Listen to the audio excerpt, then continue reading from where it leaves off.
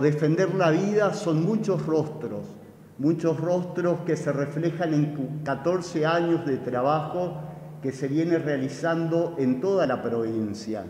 Por eso, por ahí, eh, nos gusta romper los protocolos, porque consideramos que, que no estamos solos, que juntos hacemos este trabajo y justamente el lema de este año de, internacional de la prevención del, del suicidio es trabajando juntos para prevenir el suicidio.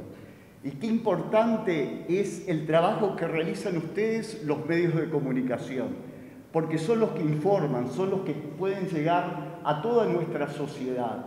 Y este es un flagelo que nos golpea. Por cada caso de suicidio, que tenemos, de hecho consumado, hay entre 40 a 50 personas afectadas.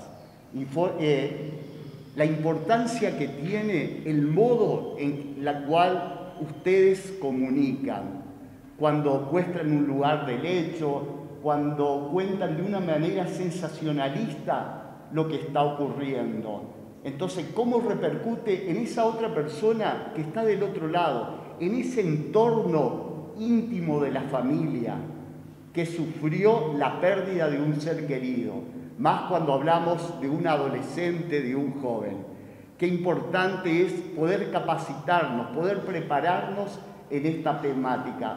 Por eso estamos agradecidos como defender la vida al Rotary, estamos agradecidos al, al señor Nicolás Más, al CIDERE, a este organismo que hoy nos convoca en este lugar. Qué importante que estemos interactuando entre todos. Dentro de un rato vamos a compartir una hermosa canción que nos identifica, honrar la vida. Qué importante es eso, honrar la vida y tener presente eso. Hoy, por una cuestión de pandemia, me toca a mí estar presidiendo la asociación. Pero acá está nuestra futura presidente, María Rosa Vargas, que va a ser después quien esté frente a las cámaras, más allá que todos. Nuestra palabra fundamental es voluntariado. No nos identificamos por cargos, más allá de saber que cada uno cumplimos un rol. Pero todo esto nace, defender la vida, porque una persona que más allá del dolor, más allá de, la situación que estaba pasando, decidió convocar. Y hoy nos acompaña quien fundó, que es la señora Cristina Guillán.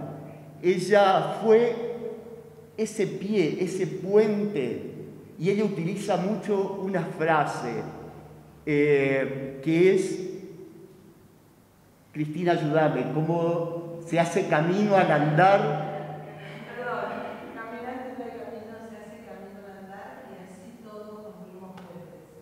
Correcto. Qué mejor.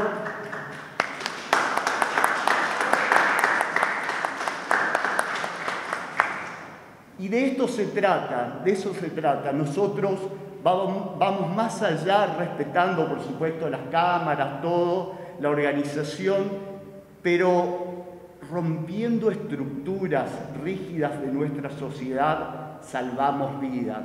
Justamente en esta sociedad consumista, en esta sociedad vorágine que nos lleva, que, que hace que no nos miremos, que no nos conectemos, es lo que provoca que muchas veces nos sea, indiferente esa persona que está sufriendo, que está pasando por una situación de crisis.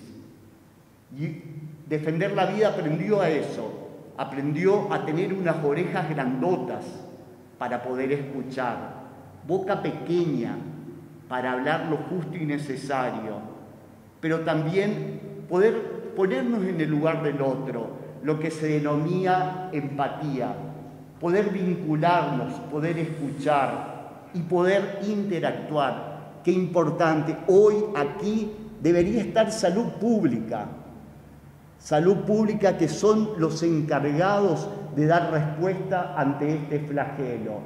Entonces sería bueno que vayamos poniendo a cada actor y que cada actor de nuestra sociedad vaya cumpliendo. Nuestros CAPS están sin psicólogos, está descuidada nuestra salud mental. Tiempo de pandemia, tiempo de crisis, qué importante es que reaccionemos como sociedad y defender de la vida está para eso, está para provocar en el buen sentido de la palabra, de que abramos los ojos, de que si hay actores que deben actuar, que actúen, que nos debemos capacitar, seguro, 14 años de capacitación tenemos en defender la vida. Vamos transitando, si ven ese laberinto, el laberinto que nos identifica, porque es como nuestra mente, pero tiene una salida. Si ustedes se ponen a buscar, van a encontrar la salida. Y nosotros somos los que acompañamos a esa, a esa familia, a esa persona, ya sea que está en crisis, o a esa familia, ese entorno que nos pide que les ayudemos a transitar por ese laberinto. Pero vuelvo al lema de este año. El lema es trabajando juntos para prevenir el suicidio. Y todos, todos los que estamos hoy aquí presentes, nos debemos sentir responsables y sentir ese llamado a poder mirar al otro, mirarnos, vincularnos y de esa manera vamos a estar salvando vidas. Por eso hay factores de riesgo, pero también hay factores protectores. Si nos capacitamos y, vamos, apuntalamos, como hace el Rotary, apuntalar esos sectores donde por ahí están más indefensos, más vulnerables, y ahí están, ahí llegan, bueno, también ahí estamos nosotros interactuando. Y es muy bueno lo que hoy me contaba Nicolás, cómo están trabajando con las distintas ONG, con distintos organismos, con el empresariado de nuestra provincia.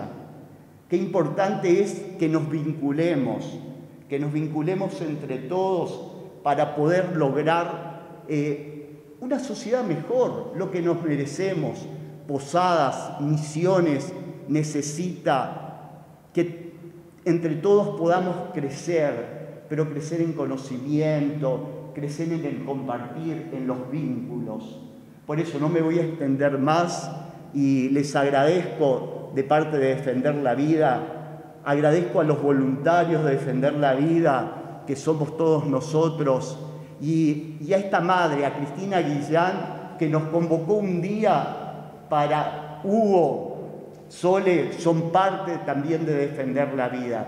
Muchas personas han pasado, muchas personas que hoy quizás no integran el núcleo de actividad constante, pero sí sabemos que siempre están, los convocamos a nuestros profesionales y ahí están para ayudarnos. ¿Por qué? Porque es un voluntariado y el voluntario es aquella persona generosa, solidaria, altruista, aquella persona que, que da todo, que da todo, no lo que le sobra, que da todo. Y el voluntariado es, es todas las horas del día, todos los días del año. Por eso los invito a que estemos presentes, los invito a que interactuemos y cualquier duda que puedan tener a los medios de comunicación sobre esta temática, defender la vida, en defender la vida seguro que van a encontrar una respuesta. Factores de riesgo. Quiero mencionar un factor de riesgo que es un flagelo también dentro de nuestra ciudad dentro de nuestra provincia, que son el tema de las adicciones. Hemos tenido hace poco, eh, por el ministerio que fue creado este año, el Ministerio de las Adicciones, eh, cómo ha aumentado el consumo de sustancias tanto legales como ilegales. Y todo, todo lo que trae implicado. Imagínense para nuestros adolescentes, jóvenes, este tiempo donde han perdido el vínculo con sus compañeros en las instituciones escolares, en los clubes, los distintos lugares donde estaban convocados para crear lazos. Caímos en la virtualidad que antes hablábamos, bueno, ahora fue necesario Pero ¿con qué nos vamos a encontrar después de esto? Esto está jugando como un factor de riesgo. Si no hay una familia que acompañe a ese adolescente, a ese joven, está en riesgo. Si no hay una mesa, una mesa donde la familia se sienta a comer lo básico, volver a los rituales, a los rituales que hemos perdido por la vorágine del tiempo y todo. Entonces tenemos que estar preparados para encontrarnos con esta realidad. Está comprobado, según las estadísticas, que ha aumentado el consumo, y no solo de las sustancias legales, alcohol, tabaco, y en edades cada vez más bajos. Eh, también me toca trabajar en la parte de adicciones, la marihuana, cocaína, pastillas. Todos son factores de riesgo, factores de riesgo que están presentes en nuestra sociedad. También hay situaciones, identidad sexual, eh, pérdida de la fuente laboral, distintos factores que llevan a que, nuestra, que la salud mental se vaya deteriorando. Por eso es importante eh, estar atentos, interactuar, no pensar, desterrar ese mito de que eh, si va al psicólogo se va al psiquiatra es porque está loco. No, no, no. Son necesarios nuestros profesionales y debemos pedir a nuestros médicos, llevar a nuestros adolescentes, a nuestros jóvenes al médico. Generalmente las mujeres van más, en cambio cuando se trata de un varón, de un chico, entonces no porque se piensa que está sano. Y después por ahí ciertas situaciones que en la escuela se suele detectar hacen que se preste atención. Pero ¿qué pasa en este año de pandemia donde los chicos han perdido ese espacio? Por eso debemos estar atentos. Y como hoy charlábamos, ¿qué pasa con nuestros adultos mayores? Que prenden la televisión, prenden los medios de comunicación y no pueden salir. Eh, han salido de NEU medidas restrictivas con respecto, que no pueden ver a sus nietos en la última etapa de su vida que tengan que pasar por esta situación. Imagínense la salud mental de esas personas. Por eso, por eso es necesario llevarle tranquilidad y llevarle eh, cuestiones claras, concretas, poder utilizar los medios que tenemos, la tecnología, para que jueguen como factores protectores. Eh, si bien es un caso particular, pero brevemente, mi madre, 82 años, ciudad de resistencia, dos y tres veces por día comunicándome para que me sienta más cerca. Hace cerca de ocho meses que no puedo ir a visitarla. ¿Cómo es posible estas fronteras que no podemos cruzar de una ciudad a otra, a la ciudad de Corrientes. O sea, todas son situaciones, factores de riesgo, factores de riesgo porque la salud mental, aún la nuestra, aún la nuestra, está siendo afectada. Y detrás de, por eso les decía hoy, me hablaba sobre los casos, hemos tenido varios casos de personas jóvenes que se han quitado la vida cómo repercute. Tienen el caso de este hombre, de este policía subido a la antena, subido a la antena, con qué necesidad se enfocaba a ese hombre que por ahí, en esa crisis que estaba pasando, resbalaba y caía.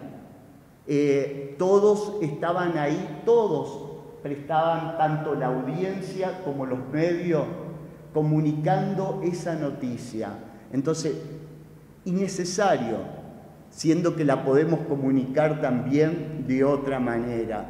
Por eso, estar atentos porque hay otras personas vulnerables y esa persona también tiene una familia, tiene una realidad, respeto a la intimidad, involucra muchos aspectos. Eh, hemos tenido en la asociación un llamado telefónico de una persona que ha perdido su amiga en este tiempo de agosto, eh, por manos propias. Hemos interactuado con esta persona, eh, hasta esta persona por este día del 10 de septiembre realizó un video agradeciendo a defender la vida por acompañar. Entonces, qué importante es permitir a esa persona vulnerable, a esa persona afectada, superviviente, eh, que pueda, que pueda expresarse, que pueda hablar y que del otro lado haya un receptor que pueda escuchar. Por eso, es para un taller si empezamos a hablar de factores protectores y factores de riesgo. Pero defender la vida los va a invitar a los talleres que continuamente viene dando, no solo en la ciudad de Posada, no solo en las instituciones escolares, sino a nivel comunitario, fuerzas de seguridad, a los distintos organismos y a los distintos actores de nuestra sociedad. Así que únicamente la palabra defender la vida es agradecimiento. Agradecimientos a ustedes, al CIDERE, a Nicolás, a, Hugo, Rotary y a todos los que aquí presentes. Y vamos a deleitarnos con la música, porque creo que es una caricia al alma y creo que es lo que nos merecemos cuando hablamos de esta temática, cuando hablamos de la pérdida de vidas por manos propias. Entonces, honremos la vida.